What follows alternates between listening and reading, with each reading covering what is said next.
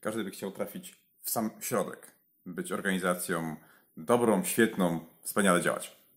No i znam takie. Znam na przykład takie organizacje, które są bardzo punktualni. Zdarzyło mi się wpaść na spotkanie dwie minuty po terminie rozpoczęcia.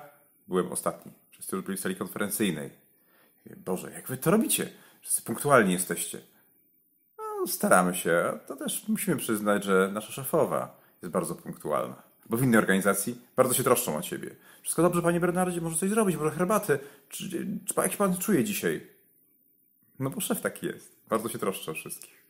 Słuchaj, więc jeżeli chcesz, żeby w twojej organizacji było w sam środek tarczy, to pamiętaj, że organizacja jest w dużej mierze taka, jaka ty jesteś jako szefowa, jaki ty jesteś jako szef.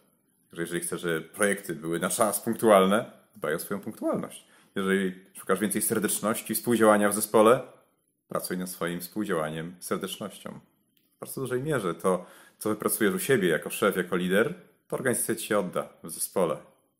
Zatem zmiana zaczyna się od nas. Oczywiste, ale takie ważne.